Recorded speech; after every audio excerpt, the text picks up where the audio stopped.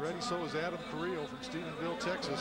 First man up on Dillinger. Bucking bull of the year, and you got to be careful what you wish for. Adam wants to get the short go round, then you got to get on Dillinger. That could be bad. Blast out of the bucking chute coming into his hand, and he's not going to be there. You cannot be behind that much with Dillinger coming out. He's a great bull. What an athlete. Adam had a shot at him, no score. He's going to leave here with 89 points.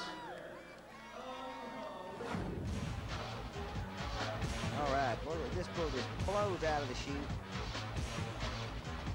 Adam is thinking, holy moly, let me out of here. Oh.